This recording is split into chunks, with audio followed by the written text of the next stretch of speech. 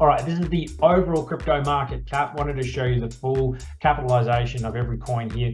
If we remember back in the height of the bull market, we got up to about $3 trillion in market cap, which is pretty incredible. The next one hopefully should be around 10 trillion. That's all speculation. But right now, we're all the way back at about 700, 800 billion.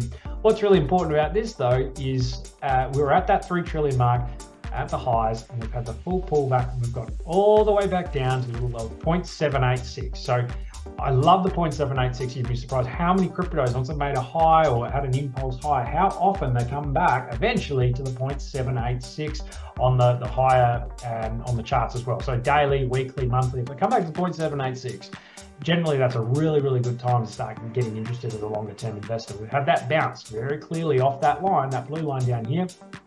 We tried to hit it in June, couldn't quite get as far. You see we had the double hit down here. So that is really strong now that we're pulling back above it, uh, above this key horizontal, back above the 21, and we're starting to move higher. So happy days uh, on the broader crypto ecosystem trying to recover.